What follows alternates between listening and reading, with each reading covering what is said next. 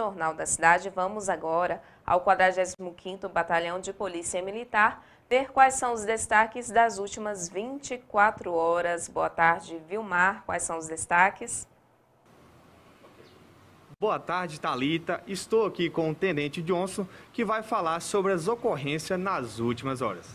Boa tarde, Talita. Boa tarde, telespectadores. No dia 31 de janeiro, nós tivemos aí o registro de uma ocorrência de tráfico ilícito de entorpecentes no bairro Vilinha.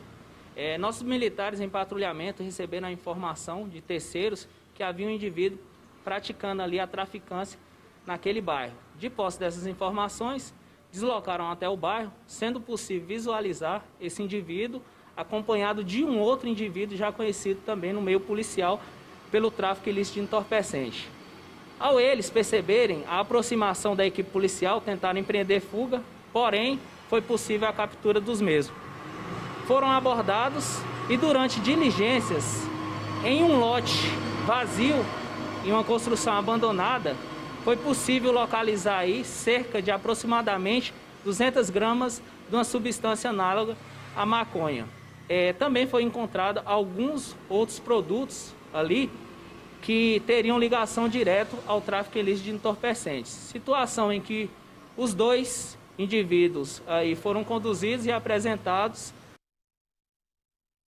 providências legais de praxe. Tenente, teve mais alguma ocorrência ou foi apenas essa? Nós tivemos também, no final da tarde, o registro de uma ocorrência de posse ilegal de arma de fogo através de uma denúncia anônima em que o indivíduo começou de uma informação em que o indivíduo fazia a traficância de entorpecente, bem como detinha a posse de uma arma de fogo.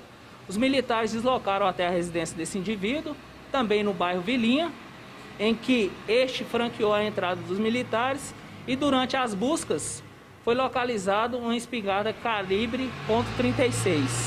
Não foi encontrado dentro da residência nenhum outro ilícito, ilícito porém o armamento foi apreendido e o indivíduo apresentado à autoridade policial para as devidas providências de praxe. Obrigada, Vilmar, pelas informações. Agradeço também ao Tenente Johnson.